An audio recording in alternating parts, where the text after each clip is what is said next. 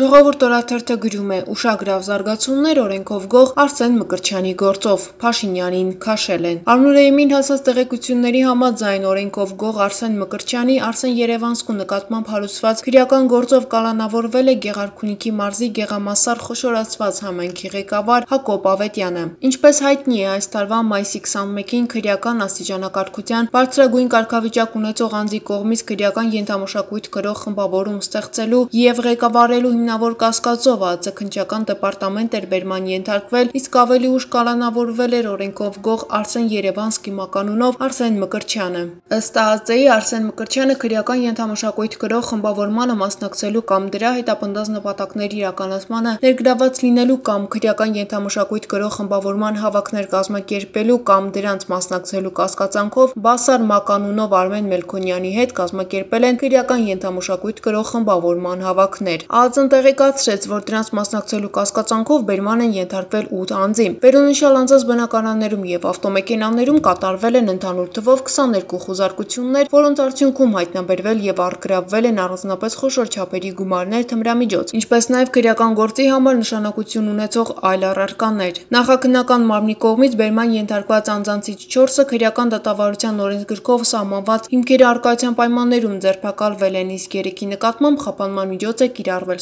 ստորագրությունը չհեռանալու մասին։ Նշենք, որ այս գործով օրենքով գող Արսեն Երևանսկին չի ընդունում իրեն առաջադրված մեղադրանքը եւ օրերս նրան առողջական խնդիրների պատճառով տեղափոխել են դատապարտյալների հիվանդանոց եւ մինչ բժիշկները զբաղված են Արսեն Երևանսկու առողջական խնդիրները լուծելով սույն քրեական գործով ամնուրեյմին մանրամասներ են հայտնի դարձել։ Մասնավորապես կալանավորված անձանց մեջ է Գեղարքունիքի մարզի Գեղամասար համայնքի ղեկավար Հակոբ Ավետյանը, իսկ ինչպես է նա ներքաշվել գողականների հավաքների մեջ եւ առհասարակ ինչի համար է կալանավորվել։ Այսպիսով ըստ լրատվամիջոցին հասած տեղեկությունների Հակոբ Ավետյանը ֆինանսական խնդիրներ է ունեցել կոնկրետ անձանց հետ։ Ըստ մարզում տարածված լուրերի Գեղամասար համայնքի ղեկավար Հակոբ Ավետյանը բազմաթիվ մարդկանց գումար է պարտք եւ մարդիկ չեն կարողացել հետ ստանալ իրենց գումարները։ Եվ ահա նրանք օգնության են կանչել գողականներին, որպեսզի իրենց հասանելի գումարները հետ ստանան։ Եվ ահա այստեղ էլ գործը հասել է դիվանբաշուն օրենքով գող Արսեն Երևանսկին միջնորդավորված կամ ուղիղ եղանակով Հակոբ Ավետյանից պահանջել է վճարել մարդկանց գումարները եւ այդ խոսակցությունները ազգային անվտանգության ծառայության կողմից գաղտնալսվել են։ Հենց այդ պատճառով էլ ազգային անվտանգության ծառայությունը հենց գյուղապետարանի շենքից կալանավորել է Գեղամասար համայնքի ղեկավար Հակոբ Ավետյանին։ Ավելին, ըստ լուրերի Հակոբ Ավետյանին ԱԱԾ-ն առաջարկել է պատմել ողջ եղելությունը, խոստանալով այդ դեպքում խրախուսել, սակայն Հակոբ Ավետյանը ցանկալի ցուցմունք չի տվել ԱԱԾ քննիչներին եւ դրա պատճառով մնացել է կալանքի տակ։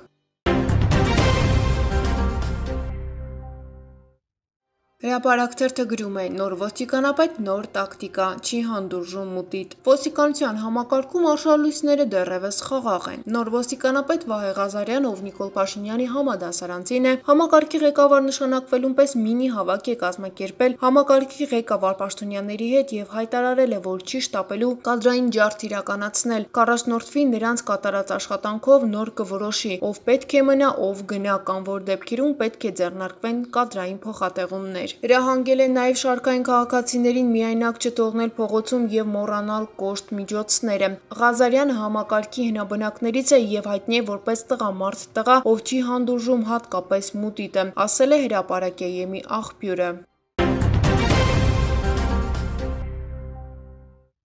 Հրապարակ թերթը գրում է. Իշխանական թիմը երկու բանակի է բաժանվել։ Ում է տեսնում Փաշինյանը Ավինյանի տեղում։ Փոխվարչապետ Տիգրան Ավինյանի եւ Նիկոլ Փաշինյանի հարաբերությունները չեն վերականգնվում կառավարական աղբյուրների փոխանցմամբ։ Գրեթե վերջնական որոշված է, որ Ավինյանը պետք է հեռանա հարմար պահի են սպասում։ Դա ամենայն հավանականությամբ տեղի կունենա հունիսի վերջերին, երբ համավարակի տեմպը զգալիորեն թուլացած կլինի։ Քննարկվում է նաեւ նրան փոխարինողի հարցը։ Իշխանական թիմը երկու բանակի է բաժանվել։ Մի մասը, այդ թվում Նիկոլ Փաշինյանը Պաշտոնյանը հակված են Արայիկ Հարությունյանին վստահել փոխվարչապետի պաշտոնը։ Արդյունքում մեկ կրակոցով երկու հարց կլուծվի՝ կրթության, գիտության, մշակույթի եւ սպորտի նախարարությունը կփրկվի ոլորտին չտիրապետող նախարարից եւ իր կողքին կունենա վստահելի մարդ։ Սակայն թե այդ մարդը ինչպես պետք է գլուխ հանի փոխվարչապետի պարտականություններից, եթե ոլորտային հարցերից գլուխ չի հանել, պարզ չէ։ Իշխանական թիմի մյուս հատվածը այդ պաշտոնում տեսնում է տարածքային կառավարման եւ ենթակառուցվածքների նախարար Սուրեն Պապիկյանին, ով տնտեսական ոլորտը կառավարելու որոշակի փորձ ունի։ Արայիկ Հարությունյանի նշանակվելու դեպքում կրթության, սպորտի եւ մշակույթի նախարար կդառնա կամ Մխիթար Հայրապետյանը կամ փոխնախարար Ժաննա Անդրեասյանը, Պետրոս Ղազարյանի կինը։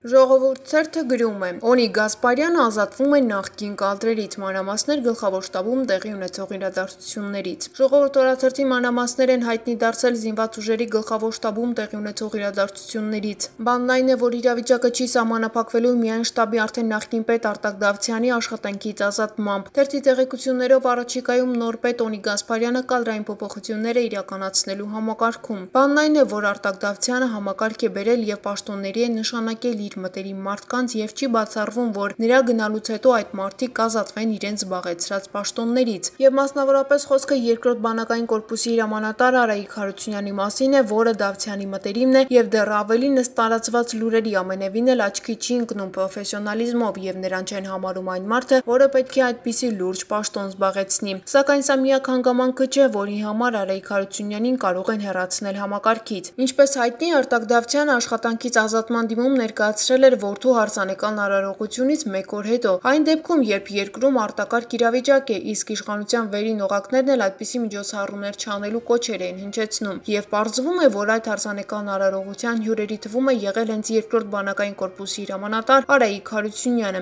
Ավելին հարսանեկի ժամանակ վայրի խոզի միս է եղել, որն էլ մատակարարվել է հենց Հարությունյանի կողմից։ Ինչևէ Պաշտպանության նախարարության թերթի աղբյուրները փոխանցում են, որ Օնի Գասպարյանը զինված ուժերի կարևորագույն նշանակություն ունեցող օղակներում եւս կարող է իր մարդկանց նշանակել, սակայն ոչ թե շեշտը դնելով մտերմության, այլ պրոֆեսիոնալիզմի վրա։ Ամեն դեպքում փոփոխությունները գլխավոր շտաբում սկսված են։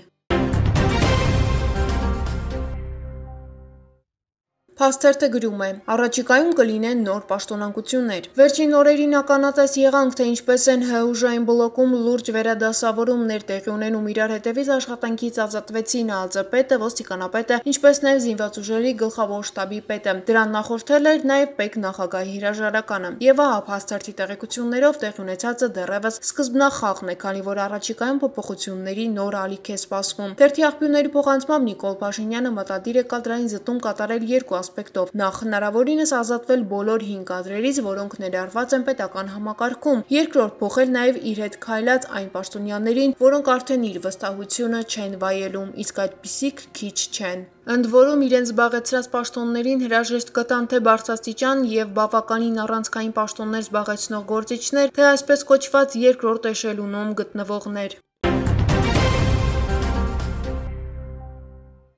Փաստերթը գրում է. քննարկվել է հիմնականում երկու տեխնատություն, ով է լինելու գլխավոր շտաբի պետի տեղակալը։ Վերջին շրջանում գրեթե ամենօրյա ռեժիմով ականատես ենք լինում քաղաքական գործընթացների կտրուկ շրջադարձերի, ինչպես նաև տարբեր տիպի անդրկուլիսային ինտրիգային գործընթացների, որոնք ուղղակիորեն իրենց հետևանքն ու ազդեցություն են թողնում իշխանական վարքագծի վրա։ Ինչպես հայտնի է, օրերս արդեն գլխավոր շտաբի նախկին պետ Արտակ Դավթյանը ազատվեց զբաղեցրած պաշտոնից, իսկ զինված ուժերի գլխավոր շտաբի պետի առաջին տեղակալ գեներալ լեյտենանտ Օնի Գասպար Ղաֆարյանը նշանակվեց գլխավոր շտաբի պետ։ Ճիշտ է, վերջնական որոշումը հաջող անսպասելի է լինում, սակայն բնական է, որ մինչ նշանակումը իշխանությունը ակտիվորեն քննարկել է գլխավոր շտաբի պետի տեղակալի բարձր պաշտոնի հնարավոր հավակնորդների հարցը։ Եվ ահա տատանումը եղել է երկու տեխնացուի շուրջ։ Նախ խոսքը երրորդ բանակային կորպուսի հրամանատար Գեորգի Խաչատուրովի մասին է, որը իրեն հատկապես փայլուն է դրսևորել վերջին շրջանում Տավուշի ուղությամբ Ադրբեջանի ագրեսիվ գործողությունները կասեցնելու առումով եւ անցյալ տարի գեներալ գեներալի կոչում է ստացել, եւ երկրորդ Արցախի պաշտպանության բանակի նախկին հրամանատար գեներալ լեյտենանտ Կարեն Աբ รา համյանը, ով 5 կադրային սպաներից է եւ բավականին լավ ճանապարհ ունի անցած։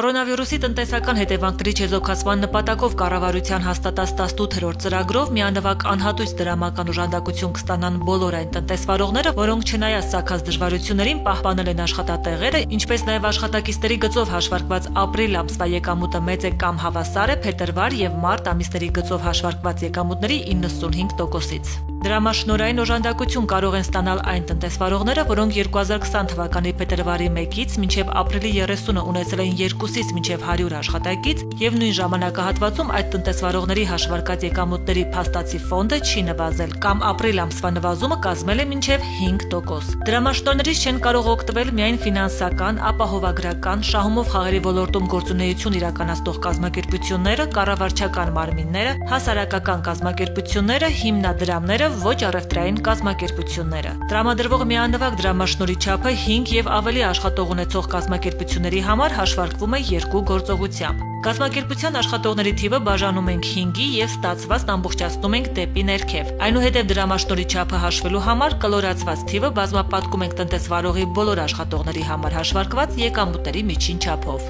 Ընդ որում աշխատողների համար հաշվարկված եկամուտների միջին չափը հաշվարկվում է մարտ ամսվա համար հաշվարկված եկամուտների հանրագումարը բաժանելով աշխատակիցների թվին։ Երկուսից 4 աշխատակից ունեցող կազմակերպություններին տրվող դրամաշնորի չափը որոշելու համար 2020 թվականի մարտ ամսվա համար հաշվարկված եկամուտների հանրագումարը բաժանվում է աշխատակիցների թվին։ Տնտեսվարողների կողմից ապրիլ ամսվա համար եկամտային հարկի եւ սոցիալական վճարի ամսական հաշվարկ ներկայացնելու օրվան հաջորդող 1 աշխատանքային օրվա ընթացքում տնտեսվարողը պետք հաշվետվությունների ներկայացման էլեկտրոնային համակարգից իր անձնական էջին ստանում է ծանուցում միջոցառման շահառու հանդիսանալու վերաբերյալ։ Ծանուցում ստանալուց հետո տնտեսվարողը ՊԵԿ հաշվետվությունների ներկայացման էլեկտրոնային համակարգում տեղադրված ձևանմուշով էլեկտրոնային եղանակով ներկայացնում է դիմում միանվագ դրամաշնոր ստանալու համար։ Դիմումն ուղարկելուց հետո դրամաշնորը տնտեսվարողին փոխանցվում է 5 աշխատանքային օրվա ընթացքում։